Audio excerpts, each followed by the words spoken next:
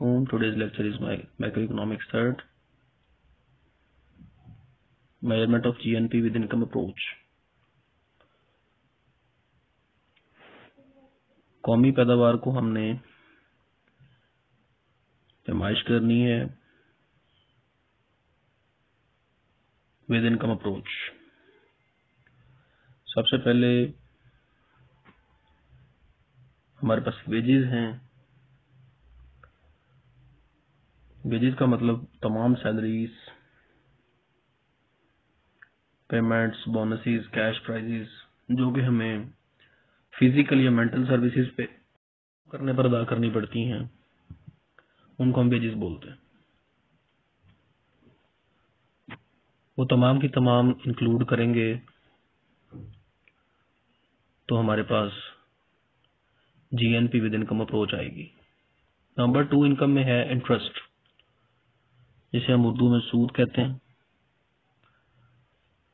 तमाम interest earned by the people and firms एक साल के अर्सा के अंदर जब हम मैक्रो इकोनॉमिक्स की बात कर रहे हैं मैक्रो इकोनॉमिक्स में मोस्टली कौमी आमदनी की बात करते हैं तो कौमी आमदनी एक साल के अर्सा के अंदर तय की जाती है। अब इंटरेस्ट जो है, वो तमाम अफराद जिन्होंने बैंक्स में अपने डिपॉजिट रखवाए हैं, उसके ऊपर वो इंटरेस्ट कमा रहे हैं, लोगों ने फर्म्स ने अपने बैलेंसेस रखवाए हुए हैं बैलेंस डिपॉजिट्स पड़े हैं, उसके ऊपर जो इंटरेस्ट कमा रहे हैं इंटरेस्ट अगेंस्ट फॉरेन सिक्योरिटीज जो कि फॉरेन सिक्योरिटीज होती हैं, उसके ऊपर इंटरेस्ट बॉन्ड्स के ऊपर इंटरेस्ट तो किसी भी फॉर्मेट में जो इंटरेस्ट हम सूद कमा रहे हैं, अपनी सेविंग या डिपॉजिट्स के ऊपर, वो भी हमारी कौमी आमदनी में शामिल होती है। एक साल के अर्सा के अंदर तमाम लोगों के कमाए हुए इंटरेस्ट अगेंस्ट ऑल दो securities deposits savings investment bonds extra बहुत सारी चीज़ें इसके अंदर। नंबर नेक्स्ट है रेंट जो भी लोग अपने रियल एसेट्स रियल एसेट्स में लाइकवाइज फार्म हो गए, उसमें उनके किराए के घर हो गए, उसमें बिल्डिंग्स हो गई प्लाजे हो गए जिनका भी वो किराया वसूल करते हैं, जिसका लगान वसूल करते हैं, वो तमाम एक साल के अरसा के अंदर जो उन्होंने वसूल की, इसमें जो सेल्फ ओन्ड हाउस होते हैं, वो भी शामिल होते हैं। मीन से एक बंदा अपने घर में रह रहा है। तो उस घर का जो किराया वो तो नहीं देता, लेकिन इंक्लूड किया जाता है। वो खुद तो नहीं पे करता, लेकिन वो कौमी आमदनी में किराया शुमार किया जाता है उसका। क्योंकि अगर वो अपने ही घर को रेंट पे दे देता है, फ़र्ज़ करें उसके घर का रेंट दस हज़ार रुपया है तो वो दस हज़ार रुपया कमा सकता है। तो इसलिए जिसमें आप रह रहे हैं, जो आपका अपना जाती घर है, उसका भी किराया शुमार किया जाता है। इसी तरह रॉयल्टीज होती हैं, जैसे कि सुई गैस है, सुई के मुकाम से निकलती है। सुई की मुकाम जो है वो एक जगह का नाम है, एक इलाका है, एक टेरिटरी है। वो टेरिटरी जिसके अंडर आती है, जिसकी वो जाती ज़मीन है उस बंदे को जो है उसके बस रॉयल्टीज पे की जाएगी जो करंट का हिस्सा होंगी। इसके बाद प्रॉफिट्स हैं। Profit run by sole proprietor sole proprietor होता है जी सिंगल कारोबारी आदमी, जो कि अकेला कारोबार देखता करता है।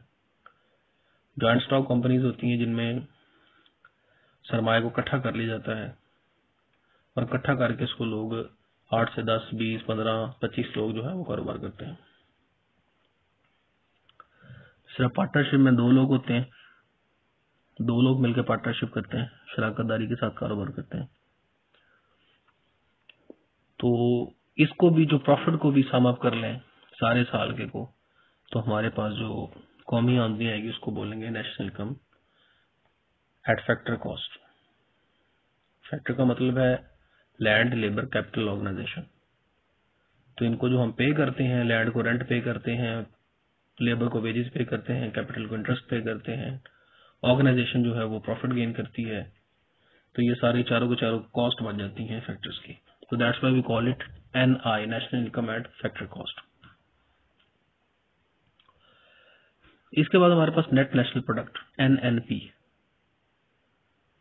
G N P का कॉन्सेप्ट तो है कि एक साल के अर्सा के अंदर उस मुल्क के फैक्टर्स ऑफ़ प्रोडक्शन मिलकर जो भी पैदावार करते हैं प्लस फॉरेन रेमिटेंसीज उसको जमा कर लें सारी अमाउंट को, सारी चीज़ों को, कुल अशिया को सर्विसेज़ को तो हमारे पास ग्रॉस नेशनल प्रोडक्ट खाम कौमी पैदावार आ जाती है। लेकिन अगर हम नेट की बात करें नेट नेशनल प्रोडक्ट तो नेट नेशनल प्रोडक्ट का मतलब होता है ऐसी अमाउंट जो कि काबिल खर्च है, काबिल तसरफ आमदनी है। जिसको सरकार खर्च कर सकती है। अब जीएनपी के अंदर डेप्रिसिएशन भी शामिल होते हैं डेप्रिसिएशन अलाउंसेस डेप्रिसिएशन अलाउंसेस का मतलब होता है टूट फूट के अखराज कि सरकार ने एक चीज़ पिछले साल ली है 2019 में तो उसकी टूट फूट के अखराज जो हैं, वो हर मत दस रुपए आते हैं। तो वो जो दस रुपए अखराज हैं, उसको हम साल से मल्टीप्लाई कर लें तो एक सौ बीस रुपए साल के बनते हैं। अब उस एक सौ बीस रुपए सालाना अखराज हम जो है वो अपनी कौमी आमदनी में से माइनस करेंगे। क्योंकि वो उस चीज़ के ऊपर खर्चा आएगा, जो चीज़ ऑलरेडी चल रही है, वरना वो चीज़ नकारा हो जाएगी। तो इसलिए उस चीज़ को कारामद रखने के लिए हम क्या करते हैं, उसके ऊपर सालाना जो है वो पैसे खर्च करते रहते हैं। जिसकी वजह से फिर वो चीज़ रनिंग पोजिशन में रहती है। तो वो जो अखराज है, उसको हम डेप्रिसिएशन अलाउंस बोलते हैं। लिहाजा वो अखराज कमाए हमने उसी साल ही होते हैं। फ़र्ज़ करें नाइनटीन ट्वेंटी नाइनटीन के अंदर चीज़ हमने खरीदी है तो ट्वेंटी ट्वेंटी का जो हमारा बजट बनेगा, उस पूरे साल के अंदर बजट के अंदर से हम जो है एक सौ बीस उस चीज़ के लिए मुख्त कर देंगे। तो लिहाजा वो एक सौ बीस हम खर्च नहीं कर सकते, उनको हम एनएनपी में शामिल नहीं कर सकते। एनएनपी में वो शामिल होंगे जो अखराज हम खुद से कर सकते हैं।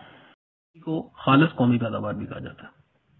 इसके बाद number three national income NNP is the summation of market value for goods produced and services provided in a country in year तो एनएनपी का और एनआई का, ये बहुत ही मैं आसान तरीका है आपको बताता हूँ। एनएनपी का मतलब है नेट नेशनल प्रोडक्ट कि साल भर में जो खालिश शक्ल में हमने चीज़ें हासिल की हैं, उनको हम एनएनपी बोलते हैं। अब खालिश और खाम का फ़र्क जो है, मैं थोड़ा सा क्लियर कर दूँ आपको। अगर जीएनपी को पढ़े तो हम कहते हैं जी खाम। कौमी पैदावार। एनएनपी पढ़े तो हम जी खाम कौमी खालिश कौमी पैदावार सॉरी तो इसका फ़र्क ये है कि एक चीनी का बोरा है सैक ऑफ़ शुगर अब शुगर का जो सैक है, जो बोरा है, उसका वज़न है जो आधा किलो। उसके ऊपर धागा लगा है शुगर का बोरा। मैं एक एग्जांपल दे रहा हूँ। और उसमें चीनी जो है, वो टोटल है पचास के जी अगर तो हम बोरे को भी शामिल करें तो बोरे का वज़न टोटल बन जाएगा। बोरा प्लस शुगर जो उसमें आइटम है, उसका वज़न साढ़े पचास किलो बन जाएगा। क्योंकि आधा किलो का हमने बोरा लगाया, जिसमें धागा, बोरा, हर चीज़ इंक्लूड है। और अगर हम उसमें प्योर चीनी देखें, कि प्योर शुगर जो है, वो कितनी है? वो पचास के जी तो वेरी सिंपल कि बोरे के समेत, धागे के समेत, हर चीज़ के समेत जो वेट है, उसको हम खाम वज़न बोलेंगे या खाम पैदावार कहेंगे। और अगर हम सिर्फ़ और सिर्फ़ उसकी चीज़ की वैल्यू निकाल जो अंदर उसकी चीज़ है, वो देखें कितने के जी एस है तो उसको हम खालस पैदावार बोलेंगे। ठीक है जी? तो चीनी खालस तौर पे उसमें पचास के जी एस है, जबकि खाम उसका वज़न जो है वो साढ़े पचास किलो है। तो ये खाम और खालिस का फ़र्क है। तो अगर हम खाम इनकम की बात करते हैं तो जी एन आई जिसे हम कहते हैं ग्रॉस नेशनल इनकम और एक एन एन आई होती है नेट नेशनल इनकम तो very simple gross national income में से हम टैक्सेस को माइनस कर दें सब्सिडीज को प्लस कर दें तो हमारे पास क्या जाता है? खालस, कौमी, आमदनी. हमारे पास पर्सनल इनकम पर्सनल इनकम का मतलब है कि लोग जो हैं वो एक साल भर के अरसा के अंदर कितनी आमदन कमाते हैं। उसमें जैसा कि लिखा है, इसमें as the case of transfer payments like pension unemployment allowances social security allowances and stipends on other side it may also be happen that is despite offering the services some people remain deprive of the payments it is the case of taxes on profits welfare reduction on distributed profits तो इसमें सब चीज़ें शामिल उसने कर दी हैं।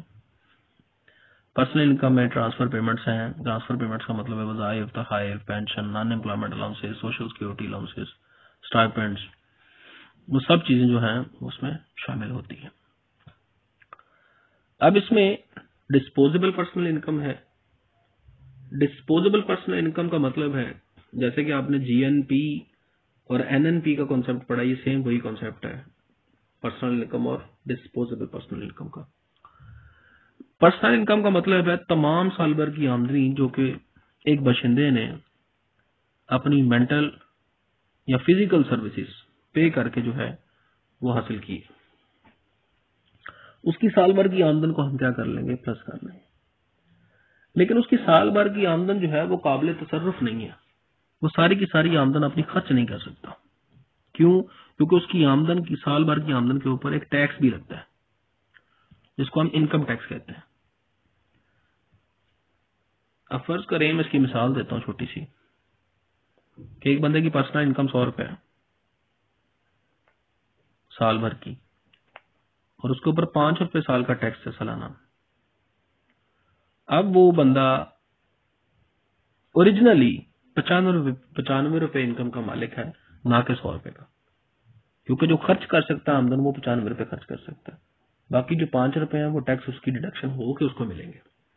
आमदन उसकी वो है, सौ पाँच रुपए जो उसने कटवाए हैं, वो भी उसी की आमदन है, उसी ने कटवाए हैं।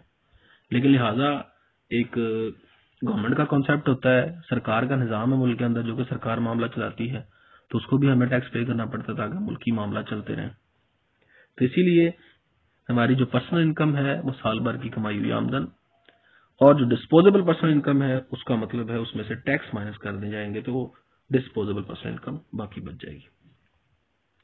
जीडीपी है if we subtract the income earn through foreign services we get GDP कि जीएनपी में से फॉरेन रेमिटेंसेस को माइनस कर दो तो हमारे पास जीडीपी बन जाती है।